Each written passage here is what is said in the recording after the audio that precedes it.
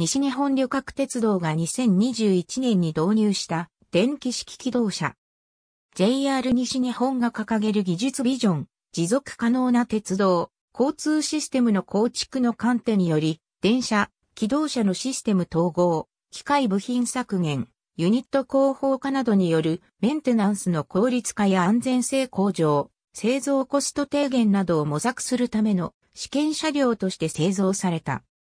JR 西日本が電気式機動車を導入するのは初めてで、技術検証段階で二次電池を追加搭載することで、ハイブリッド方式への切り替えも可能な構造となっている。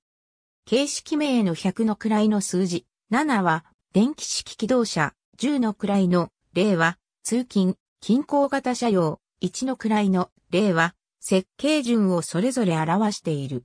両運転台構造の一両編成で、片開きの客用扉を片側2箇所配置している。正面は衝撃吸収構造を採用しながらも、切り妻断面となっている。陶器配置は227系電車など近年、投入される JR 西日本の近郊系電車に類似したものとなり、転落防止ホロも備え付けられている。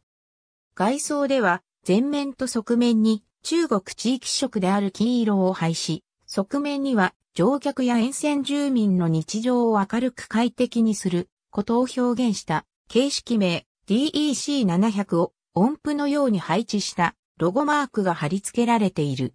前面通路上部と側面には227系に順次帯行先表示器を設置したが、乗務員室上の表示器は省略された。またドア横にワンマン運転用の出入り口表示器を装備する。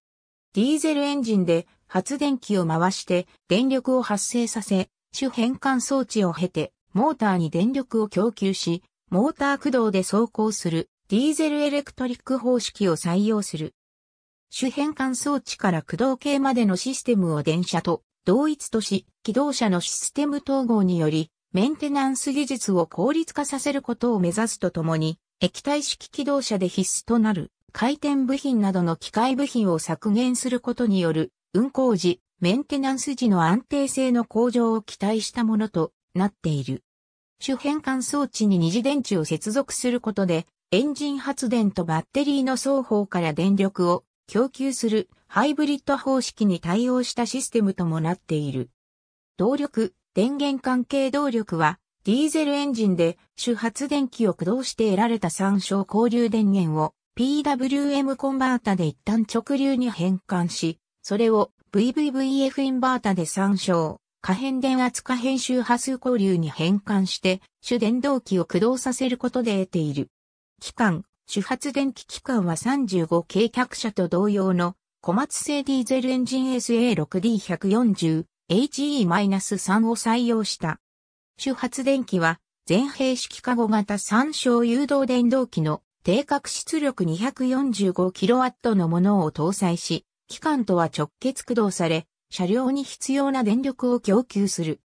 主変換装置主変換装置は PWM コンバータ VVVF インバータ SIV チョッパが一体で構成され、素子にイグブトを採用した参照2レベル方式電圧型 PWM 方式を採用している。補助電源装置は低角出力69馬の SIV である。大車道台車を車体前くらい、付随台車を車体後くらいに配置する。いずれも軽量軸量式、ボルスタレス台車で床面高さの変更に伴い新規開発された空気バネを使用している。高速運転を行わないことから、溶断波などの装備の設置は想定されていない。また、増粘着装置を同台車に、フランジという装置を、付随台車に装備している。主電動機全閉式カゴ形参照、誘導電動機を同台車に2機搭載する。制動装置制御装置の二重化が施された電気指令式空気ブレーキ方式を採用しており、機関ブレーキ、排気ブレーキも使用可能となっているほか、大切ブレーキも装備する。電動空気圧縮機空気圧縮機は、潤滑油が不要なオイルフリータイプのスクロール式を上調性確保のために気搭載としている。空調装置冷房については、屋根上に集約分散式冷房装置2機を搭載している。暖房は腰掛け下に設置されたシーズ線式ヒーターと車椅子スペースのパネルヒーターで行っている。都平装置521系100番台と同様の半、自動扱い可能なと締め減圧制御機能及び、飛ばさみ検知機能を備えた、自稼働空気式であり、片開き度に対応するための所定の改正が加えられている。車内は225系との共通化が図られており、2プラス1配置の転換クロスシートとなっている。また、線区の事情に応じて、ロングシート化にも対応可能としている他乗務員室を客室に変更することも考慮された構造となっている。機器類のスペースを確保するために、車内の一角に機器室を設けて主変換装置を設けているほか、車椅子スペースや車椅子対応トイレ、ドア上の車内案内表示器、ドア開示の誘導鈴を装備し、バリアフリー化が図られている。落成後に下関総合車両所新山口支所に配属され、2021年8月16日に性能試験を開始した。9月以降は山口県内を中心に本格的な試験走行をする。広島支社管内のみならず、特性の異なる米子エリア及び京都エリアでの試験も予定されているという。また、2022年からハイブリッド方式による試験を行うことを目指している。